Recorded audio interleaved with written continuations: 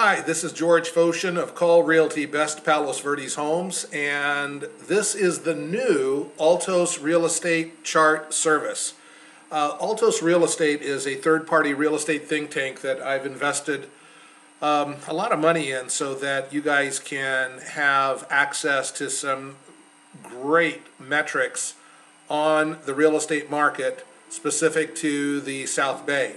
Uh, the areas that are profiled in my system are Palos Verdes Estates, Rolling Hills, Rolling Hills Estates, Rancho Palos Verdes, uh, Palos Verdes Peninsula, Redondo Beach 90277 and 90278, uh, Torrance 90505 and 90503, Hermosa Beach, and Manhattan Beach. And if you've been using my system for a while, you've probably just recently received the new uh, update. It works a little different. If you'll recall, in the past you were getting a, an email with a PDF file. This is way better. All right, so in this demonstration, I'm profiling Palos Verdes Estates. And the first thing that you'll see is what the market action index is for the area, what it was last month and what it is today. And the market action index, if you'll recall, is a proprietary algorithm in which we're measuring supply and demand factors to determine how strong or weak the market is. Generally, a number, an index above 30 uh, implies a seller's market, under 30 a buyer's market. And then as you go down, scroll down a little bit, well, and then there's a, a, a, a review of what's going on right here. And then as you scroll down a little bit, um, you'll see you'll start seeing the charts and you'll see how it's interactive because you as you hover your mouse over different sections of the of the graph itself uh, you'll see uh, what the number is.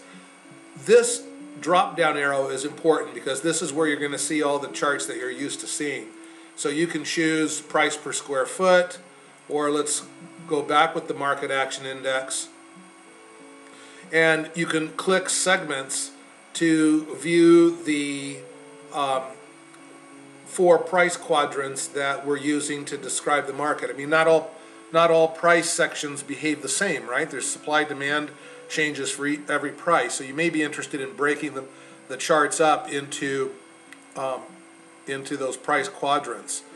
So that's it for right now. Um, let me know if you'd like more information. Remember, there is the market snapshot system that you should also combine with this because whereas this system is more of a macro review of the market, if we go to bestpalosverdeshomes.com,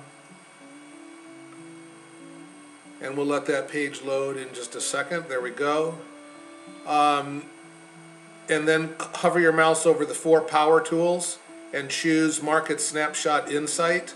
The Market Snapshot is a more of a micro uh, viewpoint of, of the market. It takes the individual MLS area, not just a zip code or a city, an MLS area uh, to profile supply and demand trends and other uh, information.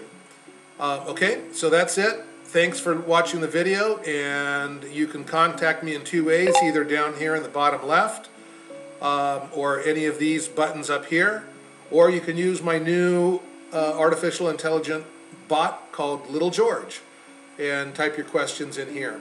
Alrighty, thanks, bye for now.